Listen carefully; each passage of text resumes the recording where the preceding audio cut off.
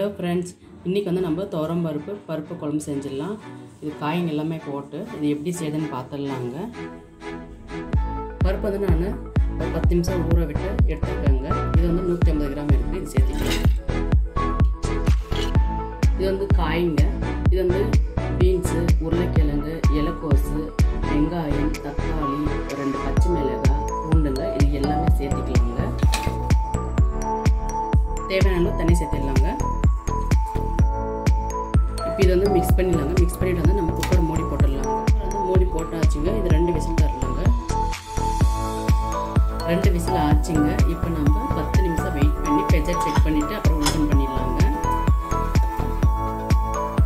பாருங்கள் நல்லா வெந்திருக்கு. நல்லா அந்த பருப்பு இந்த காய் எல்லாமே வெந்திருக்கு. சும்மா நம்ம இந்த கரண்டிலேயே சும்மா இது பண்ணாலே நல்லா மிக்ஸ் ஆகிடுங்க கேஸ் வந்து ஃபாஸ்ட்டாக வச்சுருக்குங்க. சும்மா இந்த கரண்டிலே நம்ம சும்மா கலக்கி விட்டாவே நல்லா எல்லாமே மிக்ஸ் ஆகிடும் பாருங்கள் நல்லா சூப்பராக மிக்ஸ் ஆகிருக்கு இப்போ வந்து நம்ம புளி சாறு சேர்த்துக்கலாங்க. சிறிதளவு புளி மிக்ஸ் பண்ணி எடுத்து வச்சுருக்கேன். பாருங்கள் அந்த தண்ணி சேர்த்துக்கலாங்க.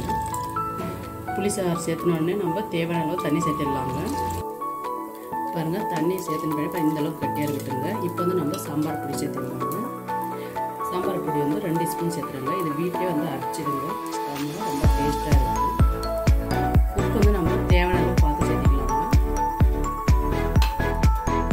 மிக்ஸ் பண்ணி விட்டுடலாங்க. மிக்ஸ் பண்ணி விட்டுட்டு நம்ம இப்போ இது மூடி வச்சிடலாம். மூடி வச்சுட்டு நம்ம ஒரு ரெண்டு நிமிஷத்துக்குள்ள கொதி வரும் ஓப்பன் பண்ணி பார்க்கலாங்க.